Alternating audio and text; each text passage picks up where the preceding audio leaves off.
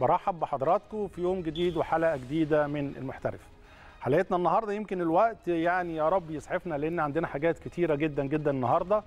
هنتكلم على الدوري الإنجليزي. الدوري الإنجليزي يمكن الجولة اللي فاتت ولعبة الكراسي الموسيقية بين ثلاثي القمة ما بين طبعا تشيلسي وفقدانه نقطة غالية كمان فوز ليفربول في الدقائق الأخيرة.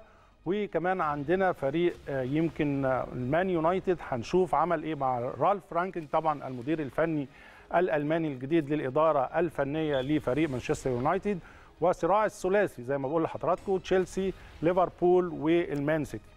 ده على مستوى ال Premier League كمان على مستوى الدوري الإيطالي.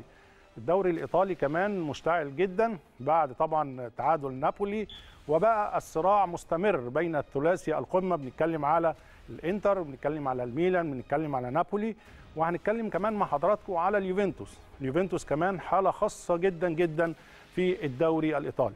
مش بس من الحالة الفنية وكتيبة أليجري اللي طبعا يعني في حالة لا لا يرثى لها.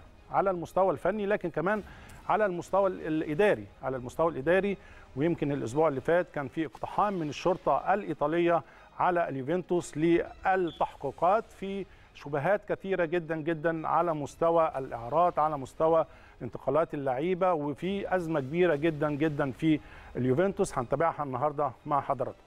كمان ما ننساش إن طبعا الجولة الفاصلة لل Champions League دوري الأبطال اللي هتبدأ بكرة هنتابع مع حضراتكم مين الفرق اللي عندها حظوظ الوصول إلى طبعا الدور القادم دور الثمانيه هنتابع دوت من خلال المحترف.